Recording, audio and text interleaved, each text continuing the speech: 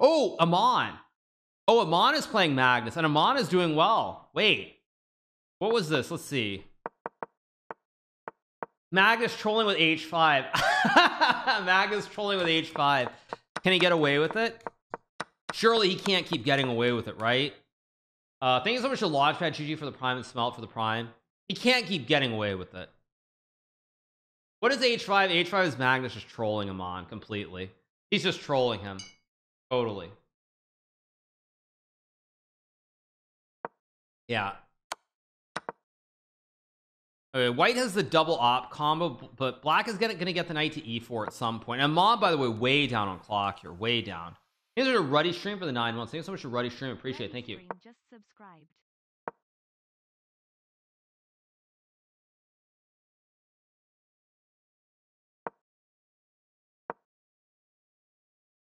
Take the poll. Uh, what's the poll? I don't see the poll.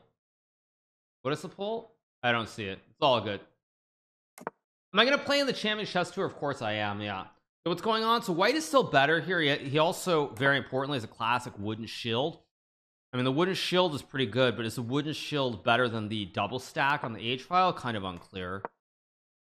King B1, Rook C1 looks very attractive. King B1, Rook C1, and go for an attack. But will Aman be able to bring himself to do that or burn his clock? Like Aman's getting a little bit too low on time here. He's got to go. You got to go. Probably g4 here. Okay, goes 96.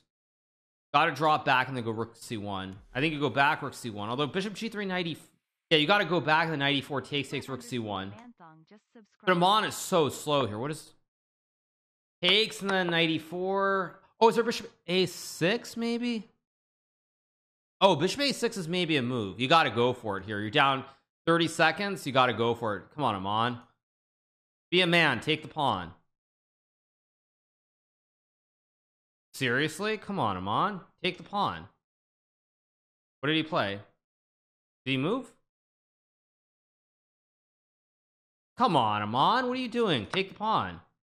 Could have saved 30 seconds before doing that.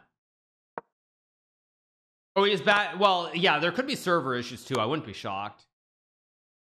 Go to A1, of course, if you go to oh, but actually Bishop E2, Bishop E2, or Queen of ah Queen of four is that ooh E6.